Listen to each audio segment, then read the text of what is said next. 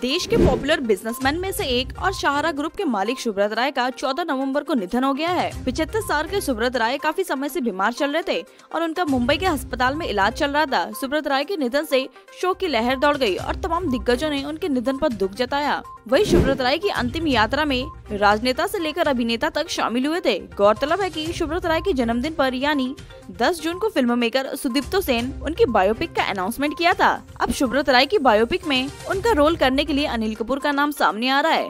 बता दें कि बॉलीवुड हंगामा की रिपोर्ट्स के अनुसार सुब्रत राय के निधन के बाद एक बार फिर उनकी बायोपिक को लेकर बात सामने आने लगी है। साल 2023 में 10 जून को सुब्रत राय के जन्मदिन पर उनकी बायोपिक की घोषणा करने के बाद इस पर कोई अपडेट सामने नहीं आया है। अब एक सोर्स से पता चल रहा है कि सुब्रत राय की बायोपिक में उनका रोल अनिल कपूर निभा सकते हैं। हालाँकि ये अभी तक फाइनल नहीं हुआ है। अनिल कपूर को सुब्रत राय के जीवन के कुछ विवादों पर आपत्ति है। फ़िलहाल सुब्रत राय की बायोपिक में उनके रोल के लिए सबसे पहला नाम अनिल कपूर का है। बात करें अनिल कपूर के वर्क फ्रंट की तो वहाँ फ़िल्म एनिमल में नज़र आएँगे। संदीप बांगा रेड्डी के डायरेक्शन में बनने वाली इस फ़िल्म में उनके साथ रणवीर कपूर, रश्मिका मंदाना, बॉबी देवल और तृप्ति डिमरी भी नज़र आएँगी। फ़िल्म एनिमल एक दिसंबर को सिनेमाघर में रिलीज़ होने वाली है। ये फ़िल्म बॉक्स ऑफ़िस पर विकी कौशल की फ़िल्म सैम बहादुर से टकराएगी। ऐसी मूवी न्यूज़ अपडेट रहने के लिए मूवी मसाला को अभी सब्सक्राइब करें।